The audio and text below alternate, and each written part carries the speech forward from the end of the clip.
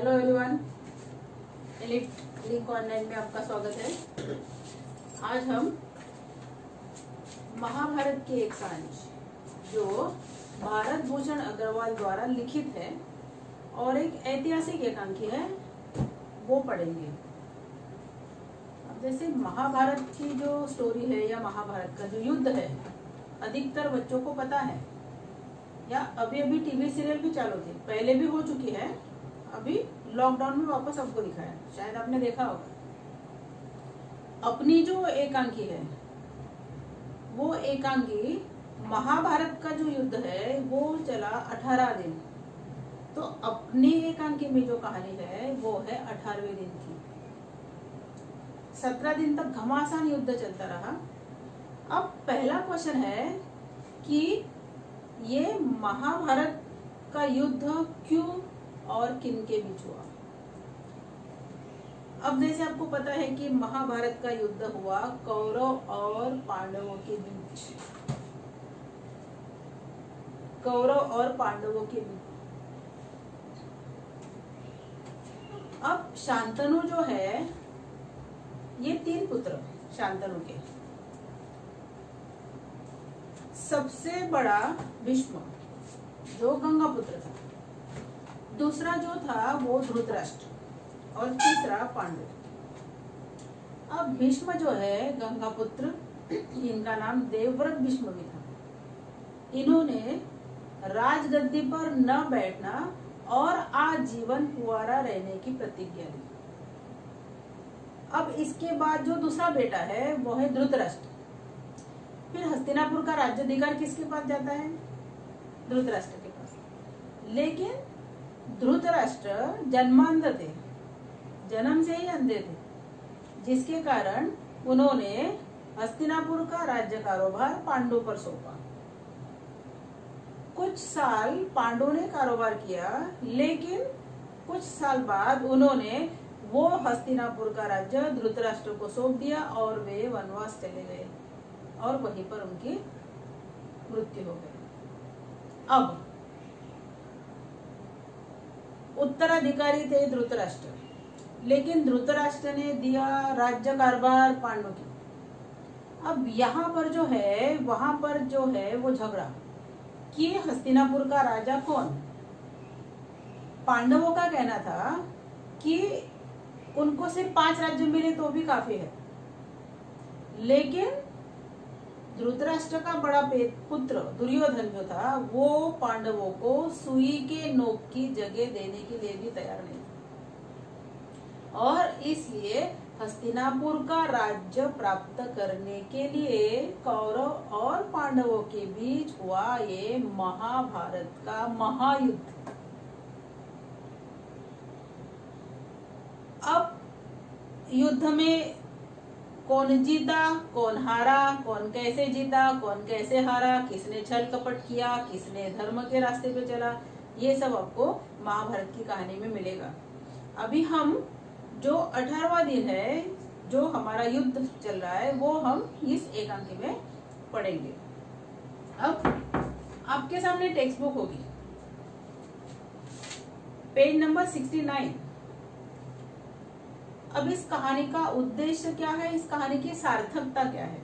और इस एकांकी का पात्र परिचय।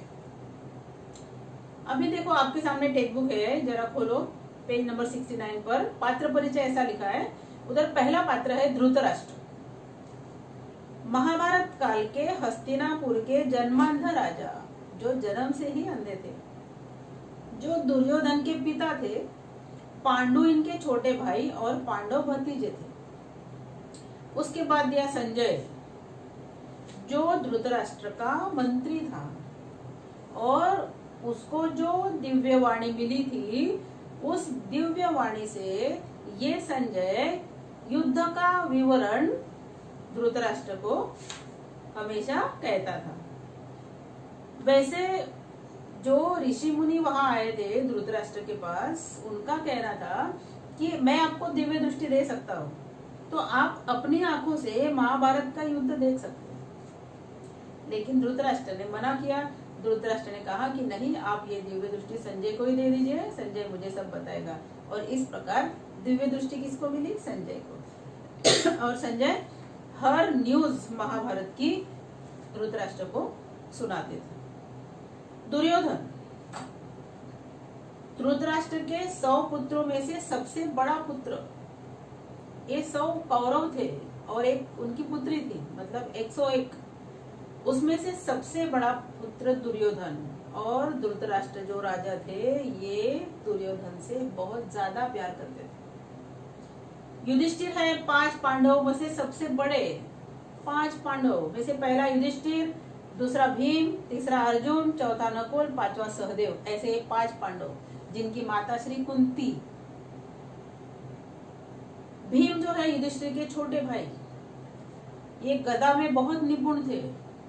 बखूबी से गदा के साथ युद्ध कर लेते थे।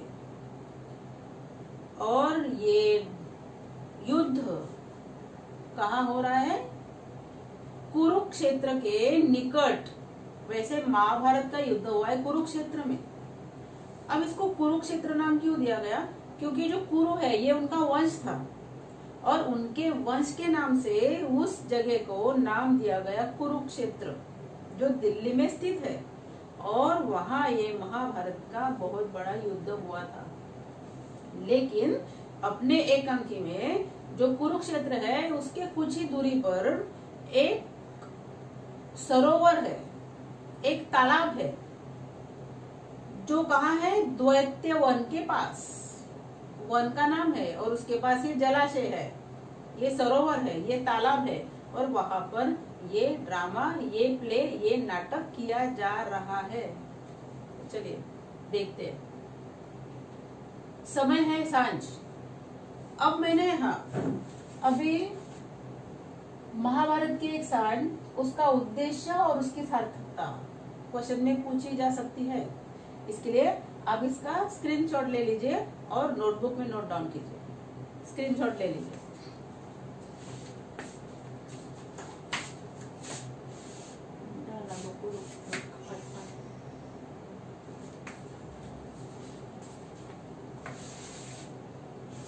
ले लिया आपने स्क्रीनशॉट ओके। नोटबुक में वो नोट डाउन भी करना है और ऑब्वियसली क्या करना है? नोटबुक में रखना है ऐसे ही? नहीं, उसको पढ़ना है। ओके? चलिए, पेज नंबर सिक्सटी नाइन पे अपनी एकांकी हम शुरू करते हैं। समय है साँझ का। उसका शीर्षक ही है साँझ। अब इस एकांकी को ये शीर्षक क्यों दिया है? जैसे जिस प्रकार हम दिन के अंत को साँझ से संबोधित करते हैं। साँझ हो गई मतलब पूरा दिन खत्म हो गया। वैसे इस कहानी में महाभारत में दुर्योधन का जो अंत है, वो महाभारत की एक साँझ में अंत का प्रतीक है। और इसलिए कहानी का शीर्षक जो है, वो महाभारत की एक साँझ। बिल्कुल सार्थक है। अब ये जो एकांकी है, ये आपको क्या बताना चाहती है या क्या बताना इस एकांकी का उद्देश्य है?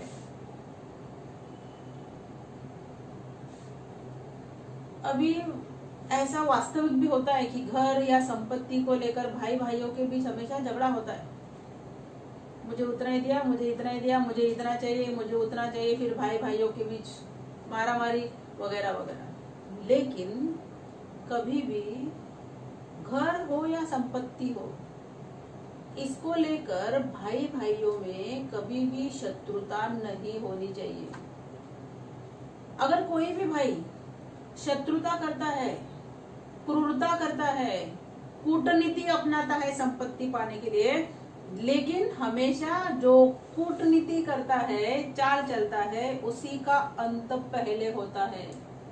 ये बताना इस कहानी का उद्देश्य है। जैसे हस्तिनापुर का राज्य प्राप्त करने के लिए दुर्योधन ने बड़ी ही क्रूरता से अपने ही स्वजनों का वध किया। अपने ही भाइयों को जीवित चलवा देने की भी कोशिश की।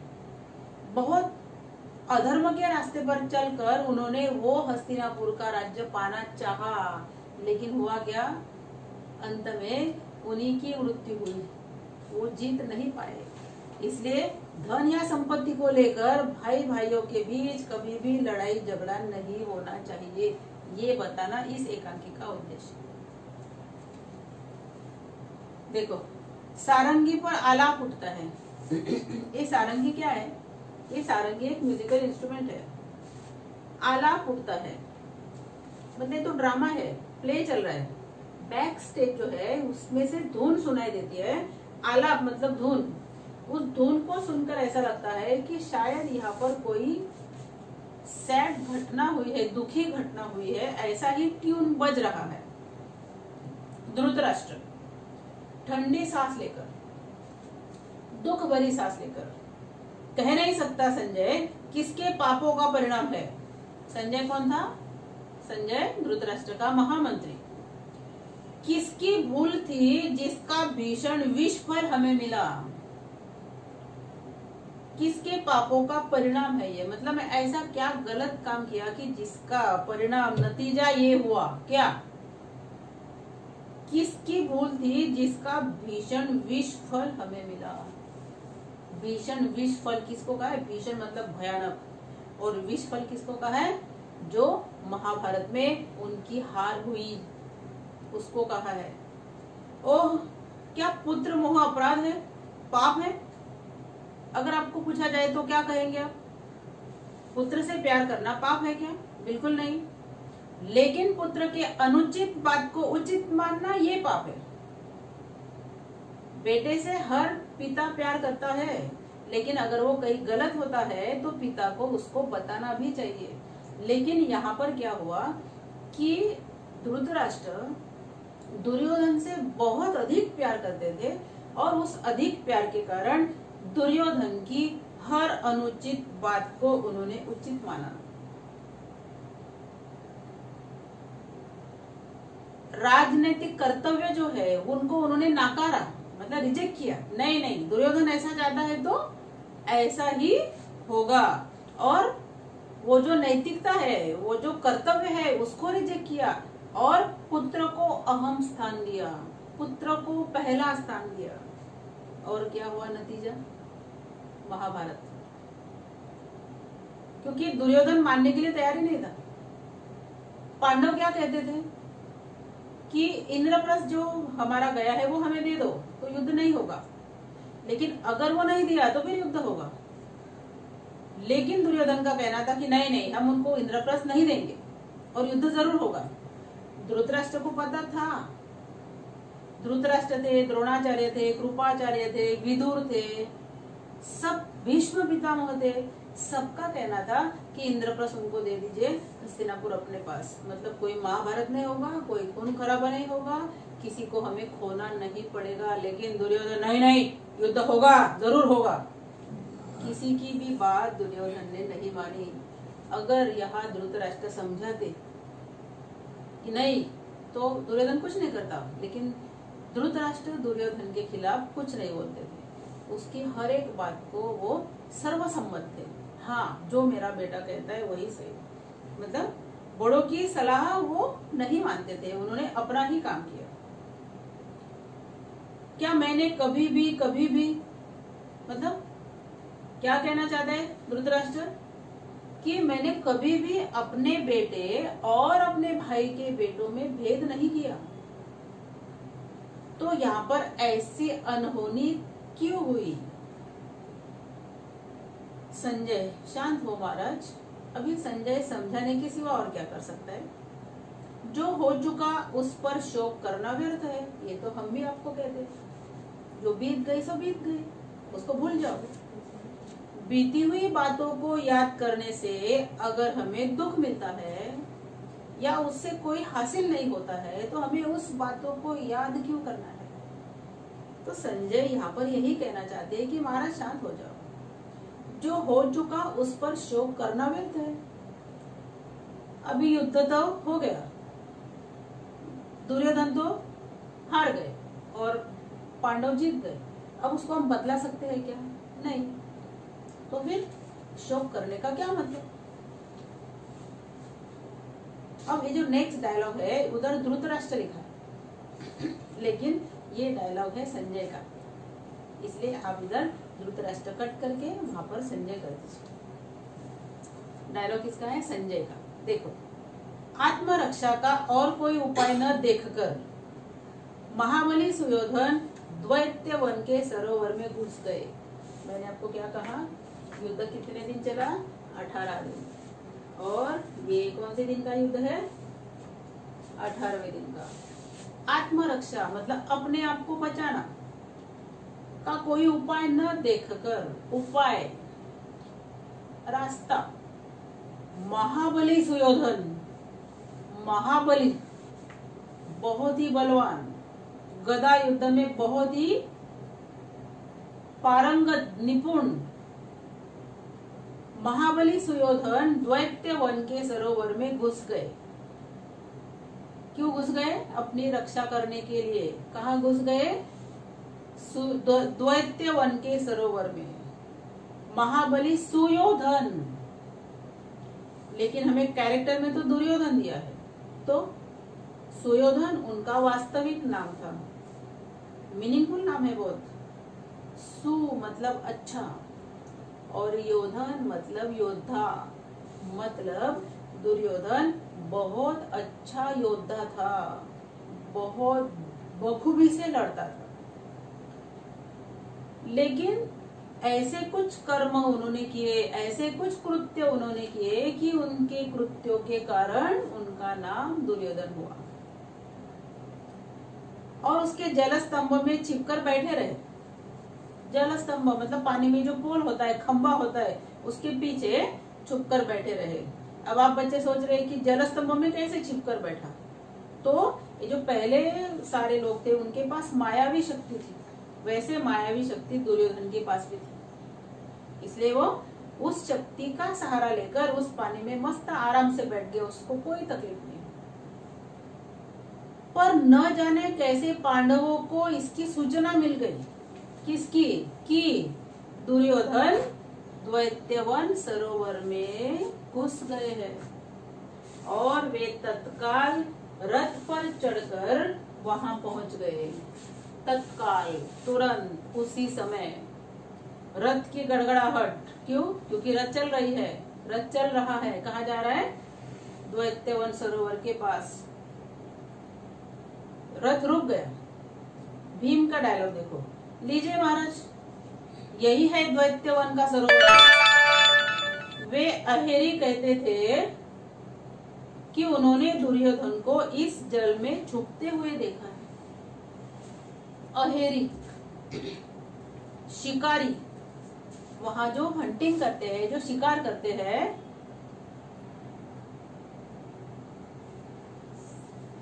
तो वे अहेरी कहते थे कि उन्होंने दुर्योधन को इस जल में छुपते हुए देखा है। कैसे पता चला पांडवों को? एक अहेरी द्वारा। युधिष्ठिर, आओ, हम लोग उसे बाहर निकालने की चेष्टा करें।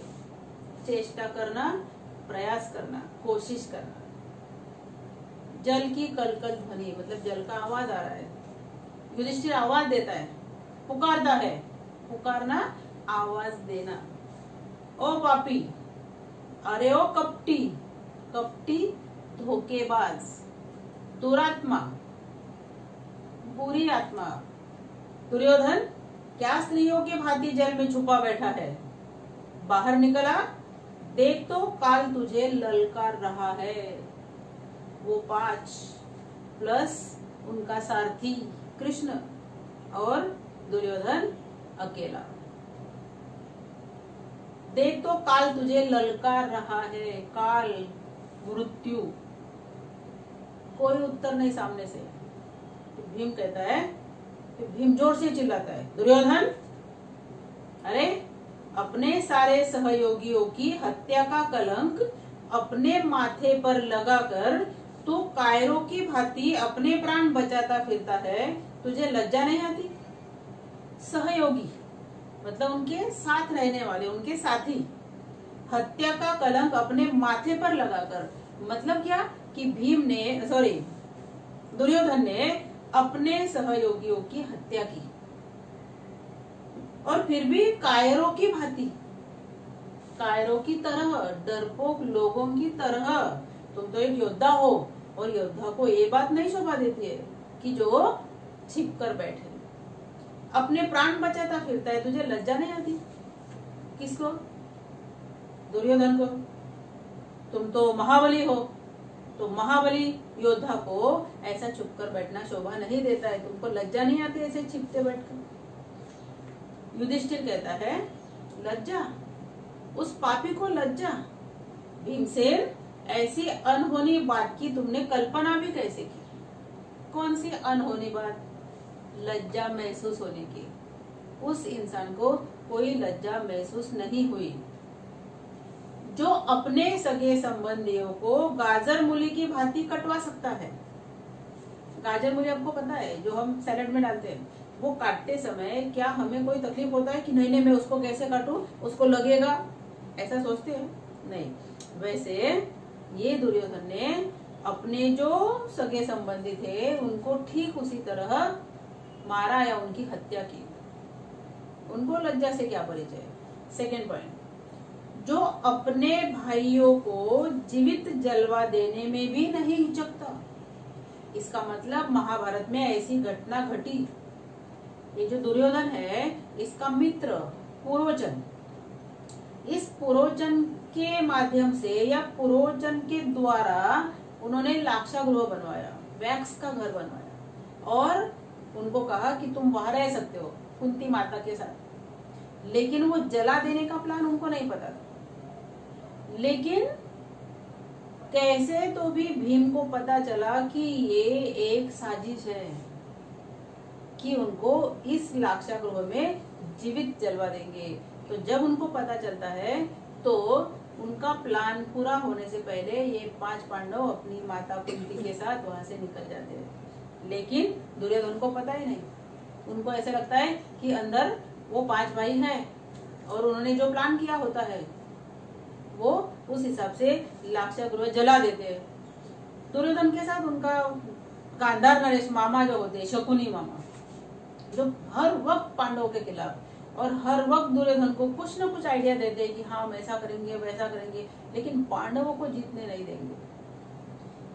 फिर वो जला देते हैं और भी हँसी मनाते हैं, हा हा हा, हमने तो पांडवों को मार दिया। अब हस्तिनापुर का राज्य हमारा। लेकिन उनको तो पता ही नहीं क्या, कि वो तो चले गए। लेकिन बाद में उनको पता चलता है कि उनका प्लान तो फ्लॉप हो गया। मतलब ऐसा था ये दुर्योधन कि अपने भाइयों को जीवित जलवा देने में भी उसने संकोच नहीं किया। तो उस व्यक्ति का लज्जा से क्या परिचय? और तीसरा पॉइंट जो आदमी अपनी भाभी को भरी सभा में अपमानित करने में आनंद ले सकता है। उसका लज्जा से क्या परिचय जब महाभारत युद्ध में ऐसा वक्त आता है कि शकुनी मामा कर्ण, दुशासन, दुर्योधन एक तरफ़ से और ये पाँच पांडव एक तरफ़ से उस राजमहल में द्युत क्रीड़ा खेलते हैं। अब ये जो शकुनी मामा होता है, ये उसके पास ये द्युत क्रीड़ा की विद्या होती है कि जितने नंबर उसको चाहिए वो ला सकता है। क्योंकि पूछा जाता है कि बोलो, आपको कितने नंबर चाहिए? फिर युधिष्ठिर बोलेगा, एक। तो वो जान मुश्किल दो डालेगा। और दुर्योधन बोलेगा, कितने चाहिए? तो बराबर उतने ही पॉइंट डालता था। और ऐसे करते करते युधिष्ठिर अपने भाई, अपना इंद्रप्रस्थ राज्य इतना ही नहीं तो अपनी पत्नी द्रौपदी को भी दाव पे लगा देता है। और वो हार जाता है। इसका मतलब वो द्रौपदी को हार गया। और द्रौपदी दुर्योधन की बन गई दासी।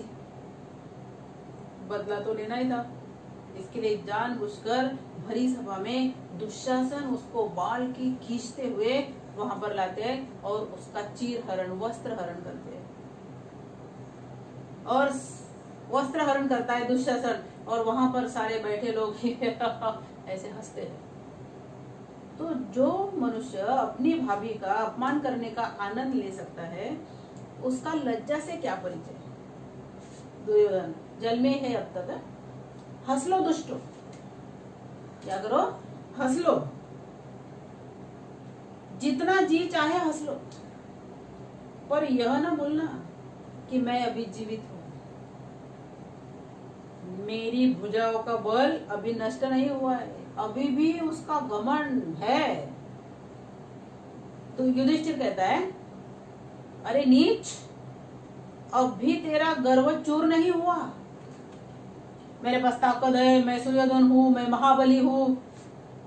ये जो घमंड है, अभी भी चूर नहीं हुआ, नष्ट नहीं हुआ। यदि बल है तो आन बाहर और हमको पराजित करके राज्य प्राप्त कर। वहाँ बैठा बैठा क्या वीरता बखानता है क्या वीरता बखान रहा था दुर्योधन? भुजाओं में ताकत है, मेरे शरीर में प्राण है, मैं जीवित हूँ, वगैरह वगैरह। वीरता बखानना मतलब तारीफ़ करना। तू क्या समझता है? हम तेरी थोती बातों से डर जाएँगे। थोती बातें?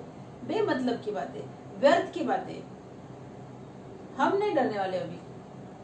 दुर्योधन अपने स्वार्थ के लिए अपने गुरुजनों बंधु बांधवों का निर्ममता से वध करने वाले गुरुजन, जैसे उनके गुरु थे द्रोणाचार्य, कृपाचार्य विश्व पितामह, उन्होंने वध किया मतलब उन्हें करना पड़ा। क्यों? क्योंकि वो कौरव की तरफ़ से लड़ रहे थे।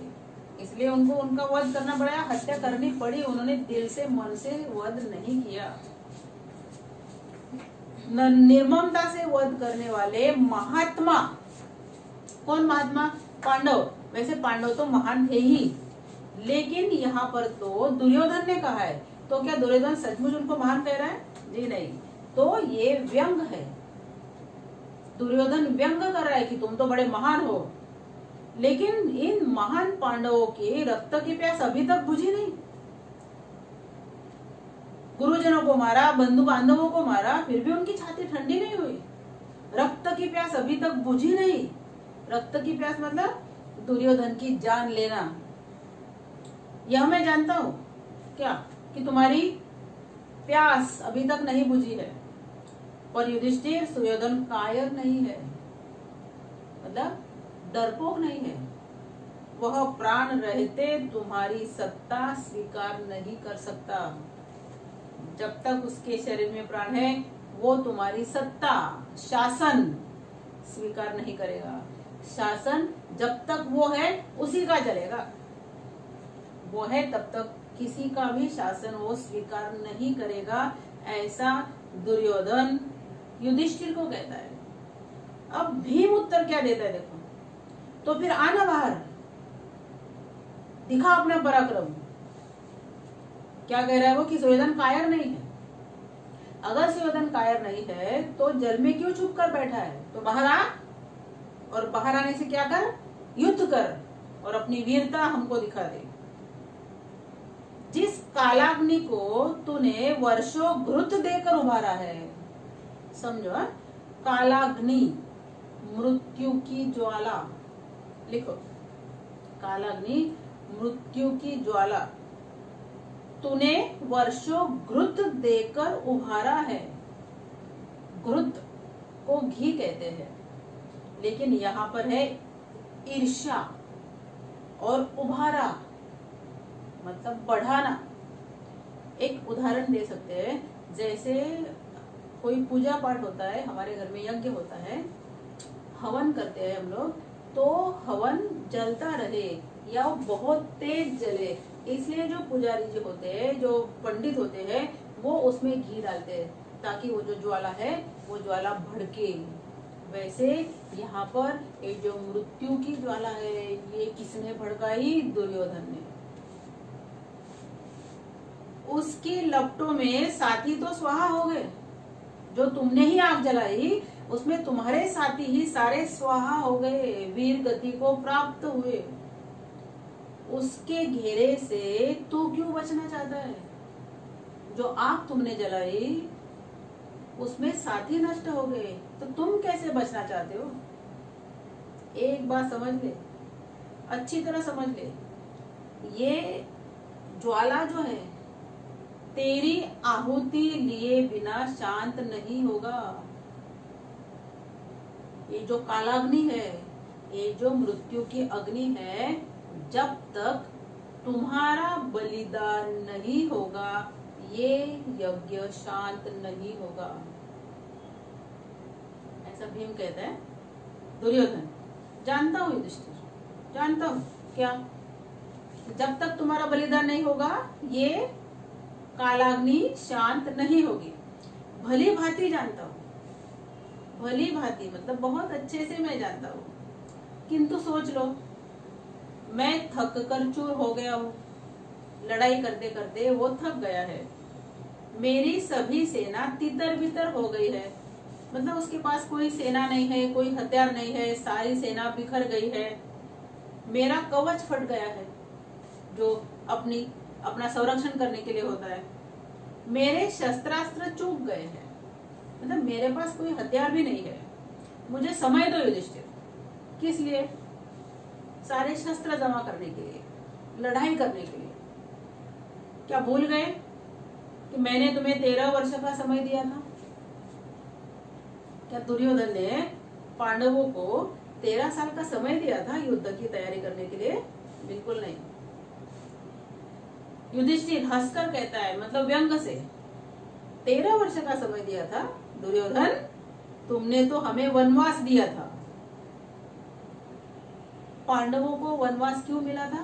जैसे मैंने आपको कहा कि वो द्युत क्रीड़ा खेल रहे थे। और वहाँ पर ऐसी शर्त लगाई गई कि अगर तुम हार जाओगे तो तुम्हें वनवास जाना पड़ेगा बारह साल। उन्होंने कबूल किया। वो खेल खेले, उस खेल में वो हार गए। उनको वनवास जाना पड़ा। बारह साल वनवास और एक साल का अज्ञातवास भी मिला था उनको। यह सोचकर कि तेरह वर्ष वन में रहकर हमारा उत्साह ठंडा पड़ जाएगा।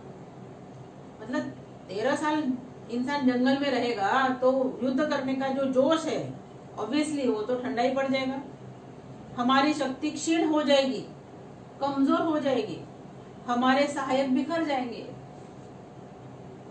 और तुम अनायास हम पर विजय पा सकोगे। इसलिए तुमने तेरह साल वनवास दिया था। अनायास मतलब बिना प्रयास के। इतनी आत्म प्रवंचना ना करो, दुर्योधन।